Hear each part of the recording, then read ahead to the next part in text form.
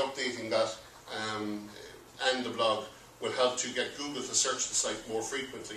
And Google works incrementally. If it comes search you now and search you in a month's time, if there's no change, it might be two months when they come back. If there is change, come back in three weeks. If there's change in three, they'll come back in two. So it's a gradual process. But you need to change a minimum of 30% of any page before Google will recognize it as a different page. So 30% of your text content needs to change. Yeah?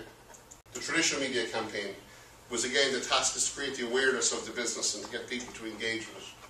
So we have uh, had an agreement with Cork Examiner that towards the back end of the summer when this part of his year is taken up with wedding photography, but at the back end of the summer we will start a campaign in the Examiner uh, which will be Cork or Republic as we see it ourselves and it'll be a charity calendar and it will encourage people to log on to his Facebook site and follow his Twitter uh, page and also go to his website for details where they can um, partake in submitting photographs for a calendar, an iconic calendar about Cork people and places, which will be for a charitable reason, but they get their photographs posted in it, and they go through his site, and by logging onto his site, to get the details and how they can submit.